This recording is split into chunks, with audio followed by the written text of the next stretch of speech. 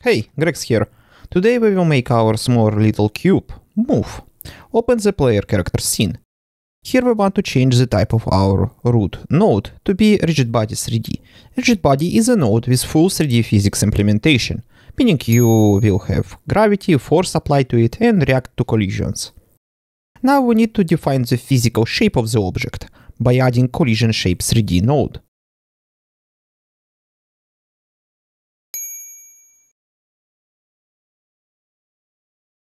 And we can set the shape to be a capsule.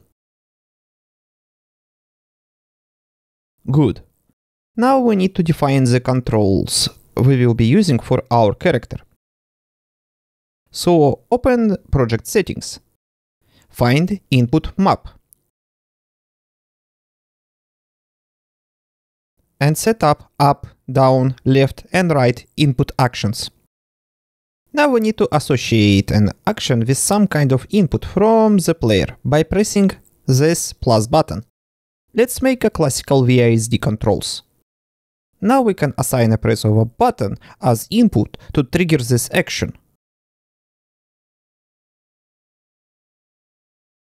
Now let's create and add a new script to our root node called player input. And you will see that from now on we will be using an Visual Studio Code. And if you don't know how to set it up, the video on how to do this is available in the Pokemon Go tutorial playlist, or look it up on my channel. Let's set up our environment a little. We don't need an explorer over here. And we want to make our text a little larger. Let's create two variables, vector3 velocity and exported variable float for the speed of our character. Exported variables will be available to be edited in the editor. So you will be able to modify the speed of the character on the fly in the editor. Now we need to process the input by creating and calling the process input from the physics process. Physics process is called every physical frame, so it is a good idea to process a movement of physical object inside this callback. Every time we are processing the input, we will reset the velocity and recalculate it based on the player input. By checking if is action pressed for forward, it is up. In that case, we will modify the velocity to move our character forward. Then we will do the same for down, meaning it is movement backwards onto the camera. And let's use left and right action to move our character on x-axis. You know, to the left, to the right. Then we want to normalize our input of velocity and multiply it by speed.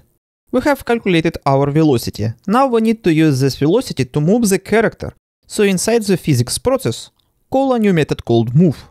And inside we will call move and collide, which will move uh, our character based on the velocity, which we will pass as a parameter.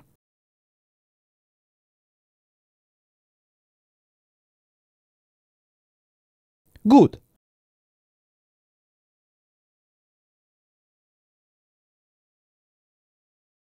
Now we need to create a floor for our character to walk on, so create static node on our main scene. Then add collisions shape.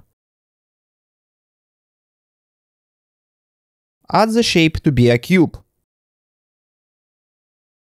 And move and scale it to be like a floor.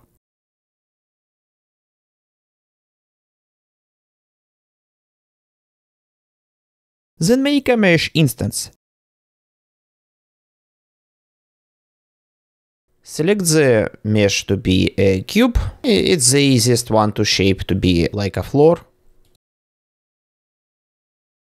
And we want to copy the shape of the floor by copying the size of the collider, which you can find in the subnode of the collision shape node.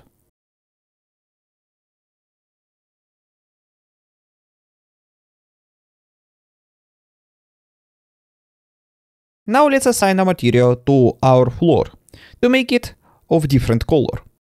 So our character will contrast between floor and his model.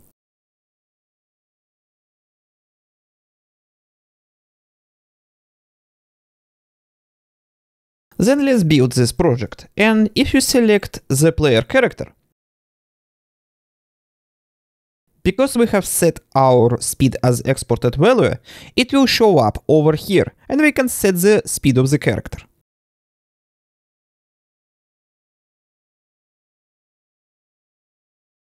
Let's try to launch and test our game. Good. Okay, it's too fast. Let's make it a little slower. But our camera doesn't follow the character. Because our camera solution is already partially implemented, we can simply attach it to the player character and camera will follow.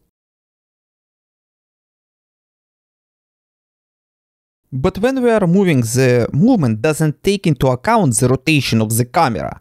So when you are looking like this, you're going all over the place instead of forward or backward or whatever. I don't like the color of the floor, so let's play around with the color a little.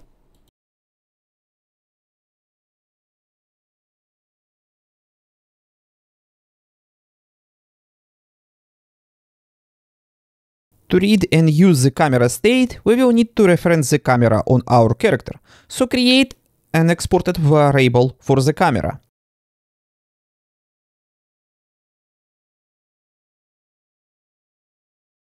Good.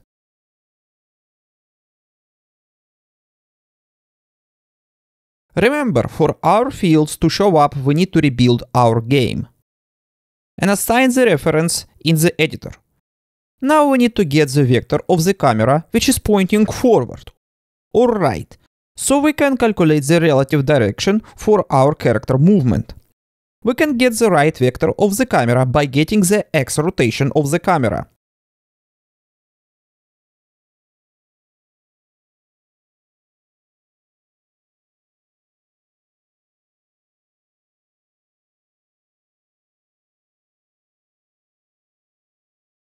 It's a little more complicated. We will need to get both x and z position from the basis of the camera rotation, which will project the forward vector of the camera, ignoring the y rotation because it's up and down. Don't forget to normalize it. Now instead of directly modifying the velocity, we will declare a new variable called input of type vector3.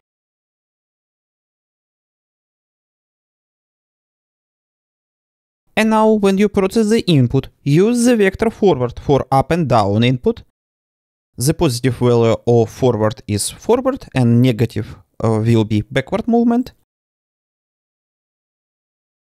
And for the left and right, you will be using the right vector, where negative right vector is to the left and positive right vector is to the right. And at the end, to get the velocity, we need to multiply the normalized input vector by the speed of the character. Good.